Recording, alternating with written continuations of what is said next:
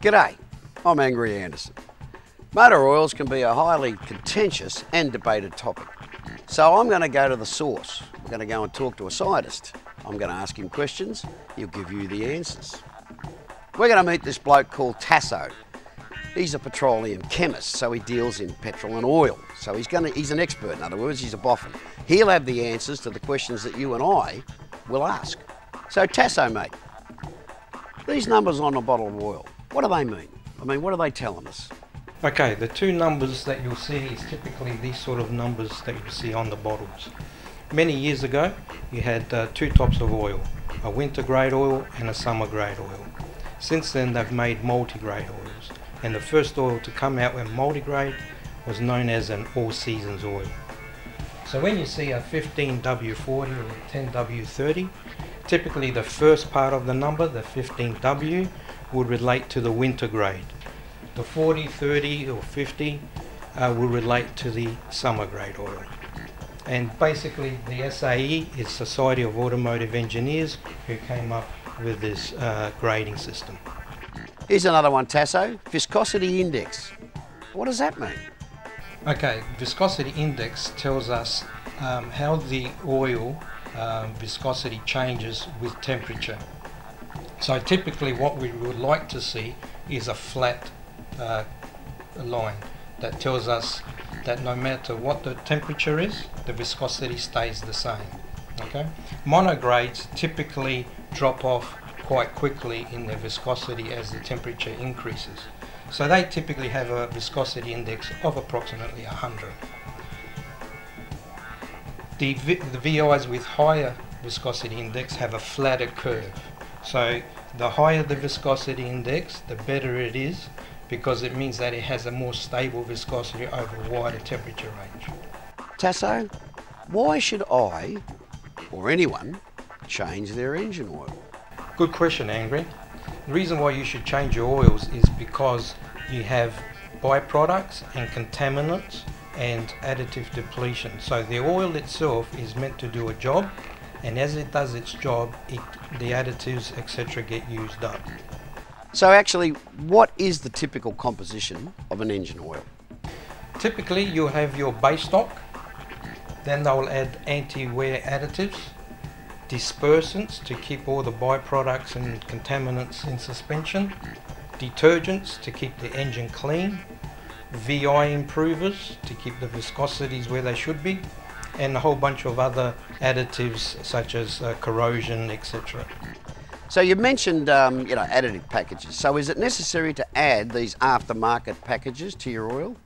Okay, typically they are not required.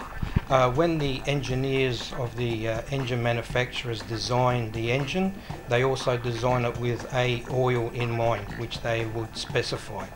The oil companies will then make that oil to those specifications and everything that the oil needs should have it according to these additives.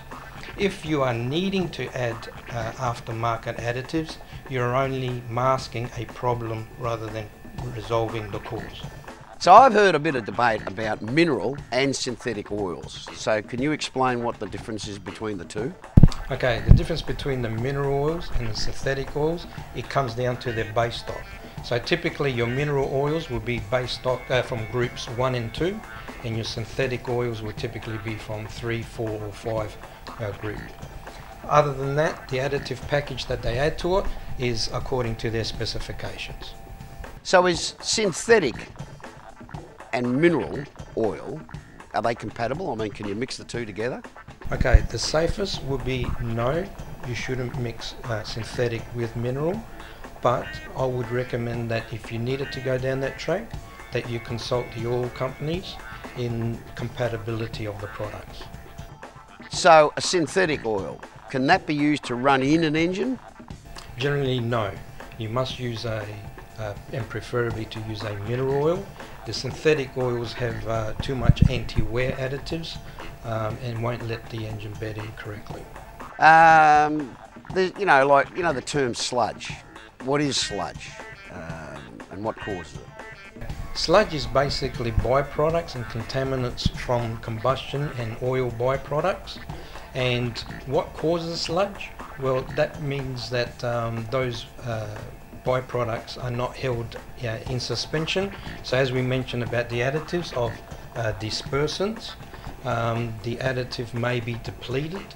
Back in the old days we used to pull out the dipstick and we see clean oil and we thought that was great but all the soot and byproducts will be forming on the bottom of the plant.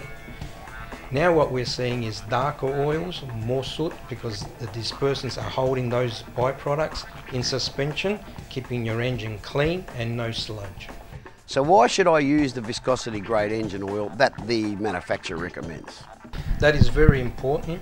The vehicle manufacturer would always specify an oil that meets their engines and they will always give you a option of different viscosity grades uh, depending on where you live. For example, if you're in the Simpson Desert, you'd use one type of oil that they recommend.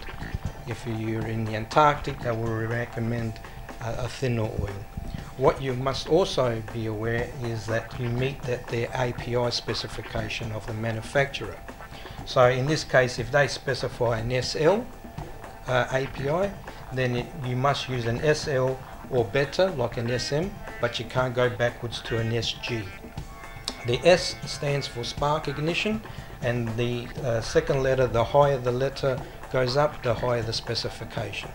Same thing with diesels. If the diesel manufacturer uses a C, uh, recommends a CH-4, you can use that as well as a CI, but you can't go back to a CG-4. Thanks Tasso mate, thanks for all that information. But if you have any further inquiries about the use of motor oil, visit our website, follow us on Facebook. Good motoring.